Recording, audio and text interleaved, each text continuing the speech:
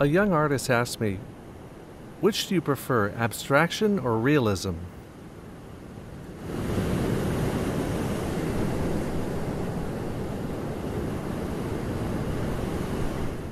In a way, it's a fruitless question because all painting is abstract at its core, especially paintings from nature. Nowhere is this more true than in a seascape. You have the horizon line, the jagged rocks,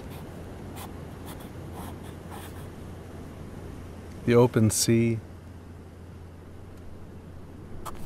Across the two dimensional canvas, those shapes, those colors play out in opposition to each other.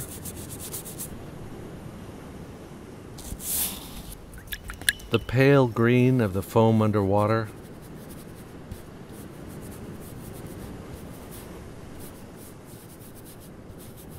And the duller gray of the far ocean.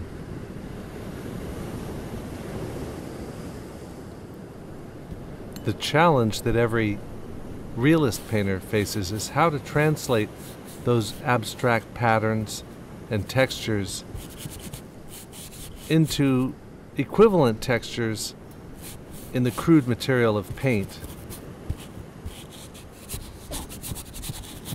Nature provides a limitless well of inspiration to draw from.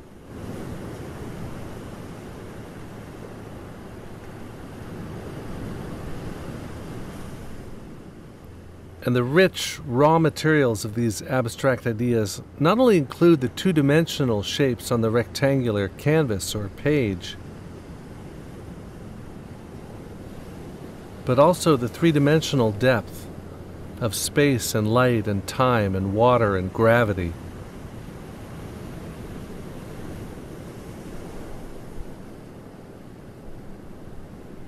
These elemental forces play out in relationship to each other.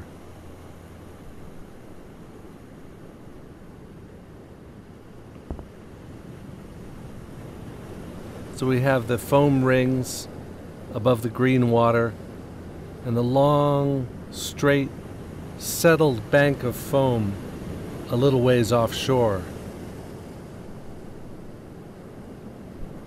One abstract principle I love finding in nature is the self similarity of fractals, where large rock shapes are repeated in ever smaller rock forms, and big waves are repeated in smaller and smaller waves.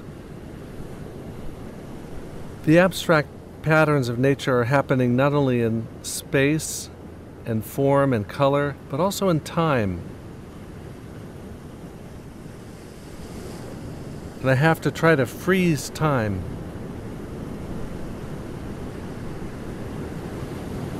Should I freeze it here? Or should I let it go longer and pick a moment from here?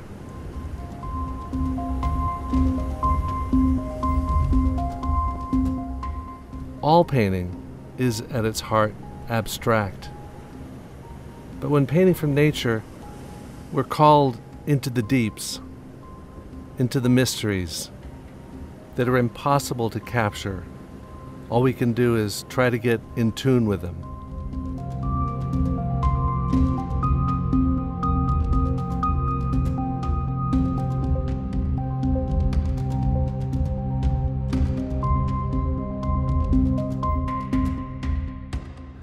Okay, thanks for watching. You might want to check out my website or subscribe to my channel. And then here's a playlist with more good stuff and a video that continues the story. So check them out and share with your friends.